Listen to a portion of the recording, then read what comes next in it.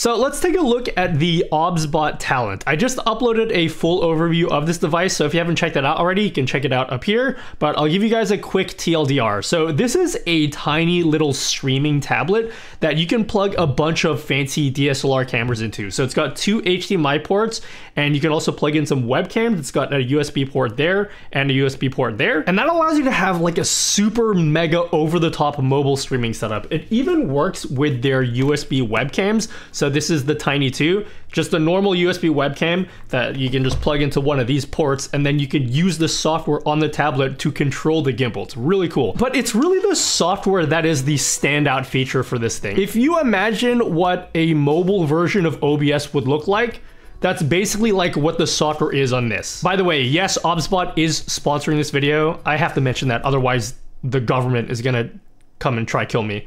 But yeah, in this video, we're just gonna look at what the software experience is like for the OBSBot talent. So when you first get the OBSBot talent, this is the page that you're gonna see. I'm skipping this part because literally nobody cares. And then it'll ask you if you want to do it in portrait or landscape, we'll do landscape. Along the bottom, you'll have a few pre-made scenes for you. So they're going to be blank for now because we haven't connected any cameras.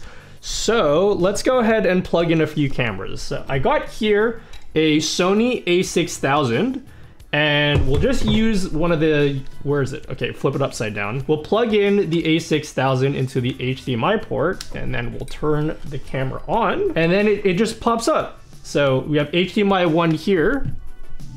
Zoom in a bit. We got HDMI 1 here and then we have the other inputs as well. So there's a second HDMI port and then a couple ports for webcams. Uh, we also have an Elgato Facecam Pro. So this is Elgato's 4K webcam. This is only 1080p, but we can still plug this in. So it doesn't have to be OBSBot webcams. You can plug in any UVC cameras. So let's just plug this one in and then we'll plug it into one of the HDMI ports, or sorry, the USB ports. And you can see this one just pops up as well. How cool is that? Now along the bottom, you can switch between your camera inputs, but this is more than just a camera switcher. These are actual scenes. So if you're familiar with using OBS, these are the equivalent of setting up your scenes. And that means you can set up your layouts however you want. So if we go over, we'll actually create a new scene. We'll just add one here and then we'll use HDMI 1 as our base but we can do like picture in picture setup. So we can add another layer on top of this and then we can choose camera one here and then you can see we can just drag this up into the corner or down into the corner and then click save.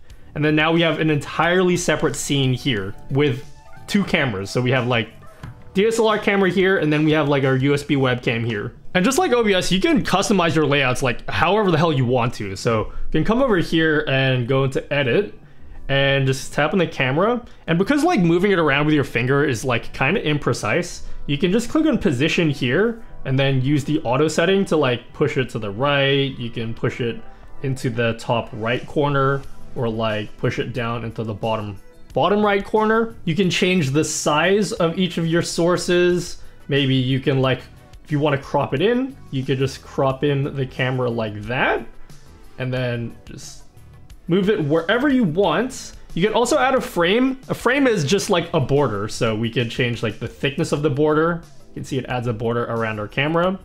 Uh, you can change like the color to blue, whatever you want. Let's make it yellow. And then you can even round the corners. I'm like the king of rounded, I love rounded corners. And you can just like do it right in the software. You can't even do that in OBS. That's awesome. Just put that right there. And then you can also change the position of the borders. So right now it's drawing the borders within the source. You can push it so it draws around the outside of the source. And then once you're happy with that, you can just save it. Oh, you can also add like a label. Uh, so if you want to like label what this camera is here, you can just type in um, like, I don't know, anything you want to call it. I probably shouldn't name it that. You name it whatever you want desktop and then, and it puts a label on the source. But just lay it out however you want to lay it out. And then when you're happy with that, you just click save and then and then that's what your layout looks like. And you can set up as many scenes as you want and just flip between them. So uh, we can flip to our hand cam here. So that's the Elgato, the Elgato webcam. We can flip to just our main camera and then back to the scene that we just made. Also, if we go back into edit here, and click in the camera. I don't know why the label's still there. I thought I removed that. Let's get rid of that label. You can also adjust the transitions. So check this out. If I type, uh, if I tap on transition and change the in and the out, I'll change this to fly in. So uh, we want this to fly up like that. Oh, that flies down. My bad. Fly up, and then the transition out will be fly down. And then we'll change the duration as well. So look what happens. Now whenever we change scenes, if I change to the uh, to the hand cam, uh, and then back here, you can see how the camera just transitions up as well. So you can do like per source transitions, kind of like you can do in OBS. If you have your own graphics and you want to add your own overlay, for example, you can just load them up onto an SD card and pop that in and then come back into the uh, into the scene edit so edit scene, and then we can just add a layer for that. So let's add in a picture, SD card, and then select our overlay here, and then we can just stretch that out. So come over to size, full screen, and then we have like my professional looking overlay, just like that. Unfortunately, it doesn't seem like it supports animated GIFs, so if I come back here into edit, and add a picture again. Like I definitely put a GIF onto my SD card, but doesn't look like it can find it. So it would be really nice if we could put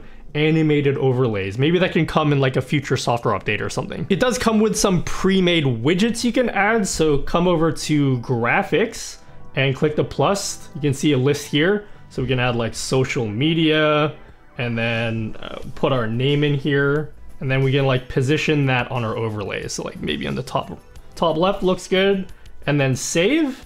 And then every single one of our scenes, if we activate that widget, will have that social media overlay. So this kind of works like a downstream keyer, or it literally is a downstream keyer. So whenever we change scenes, that graphic, whatever we put into the GFX layer, that will appear on top of everything. Now the graphics section is also the place where you can add all your alerts. So if you click the plus, you can add a web page. So here you could like build up your own stream elements overlay and then type in the URL for your overlay into that box and then that will appear there. So you get all your like your sub alerts, your follower alerts, you can show like your on-screen chat.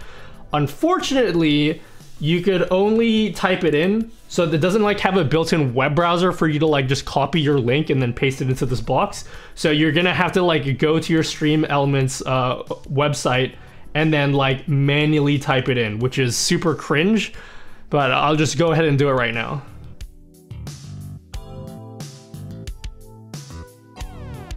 All right, and that took approximately 14 years to add in. But now, if we do a uh, follower alert,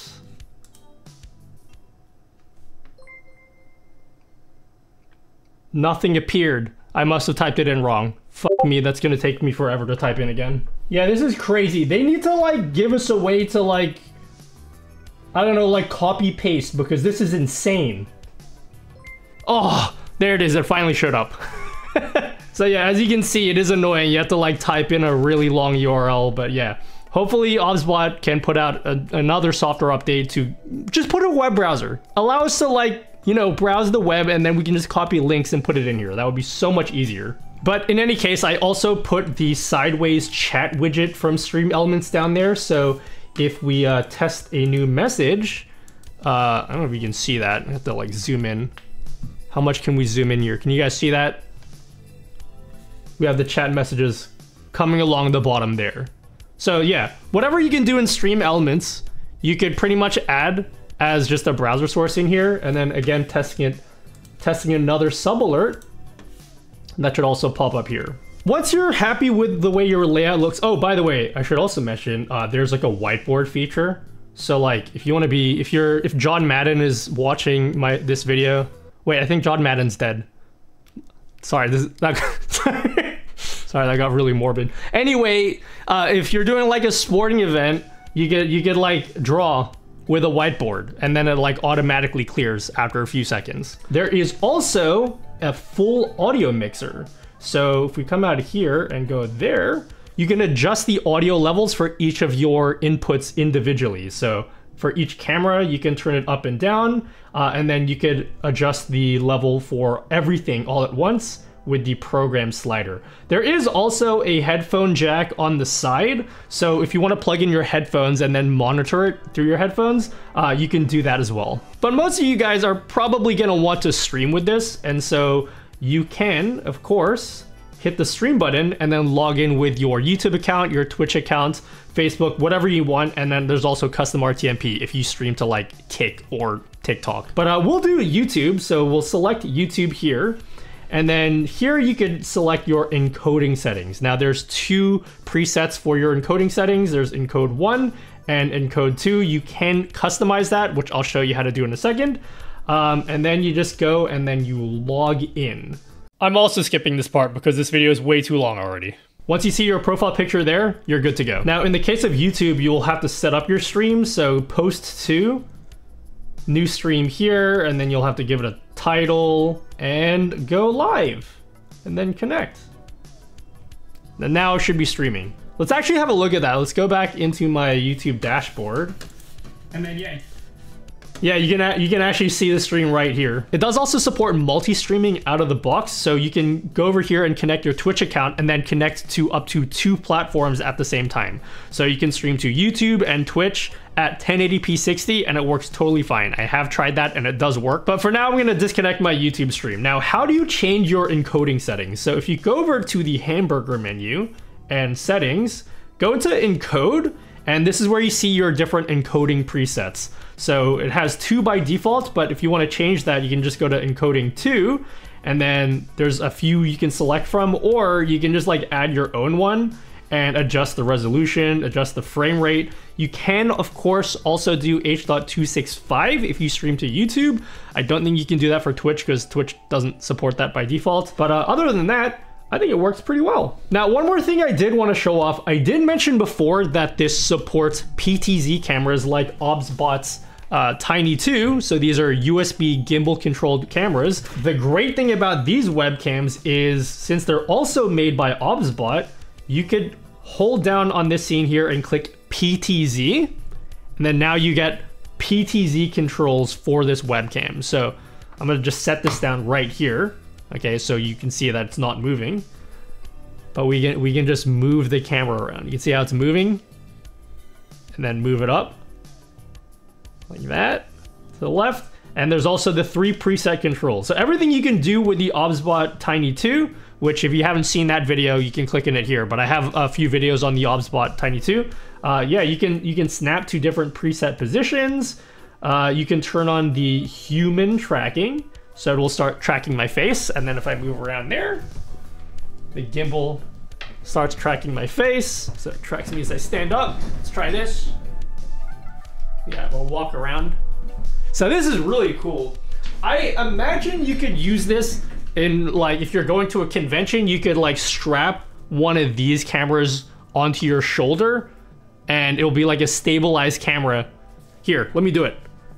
Imagine like I, I strap the camera on my shoulder like this, and then that, that could like look around the convention hall, like if I go to TwitchCon or something, and then we could use uh, like our fancy mirrorless camera like this, and that can be pointed at our face. And you can do like a picture-in-picture thing here, so you can see both cameras uh, at the same time. But uh, yeah, anyway, that is the OBSBot Talent. If you guys are interested in checking out this uh, streaming tablet, uh, you can check it out in the description. And also, if you want to see my full thoughts on the OBSBot Talent, check out the video up here or where where it's on the side. Okay, just just click in it and watch it, uh, and then you can you, you can go. Yeah, yeah. Okay, that's okay. Thank you. All right, see you later, guys.